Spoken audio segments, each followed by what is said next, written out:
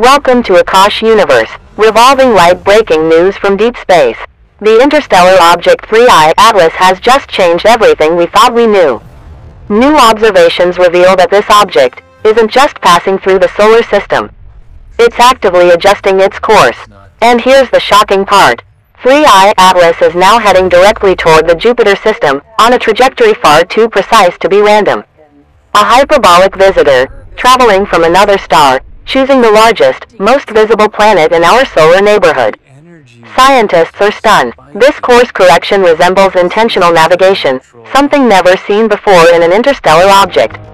Orbital simulations show 3I Atlas is effectively parking itself near Jupiter.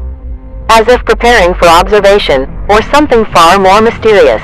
Researchers worldwide are scrambling for answers. Is this a natural cosmic wanderer? Or an engineered object with a purpose?